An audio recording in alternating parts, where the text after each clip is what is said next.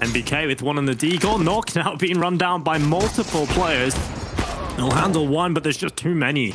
Too many players overrunning his one position, but the bomb has been collected. Rez, oh, he's handling this well. Three kills, and now it's just Valde left alone. Caught in the open. Rez swings on by a 4K in the round. Rez is up 13 and 1. Yeah, he has had a fantastic start. Straight from the pistol round into the second, and now here as well. Just taking them all down.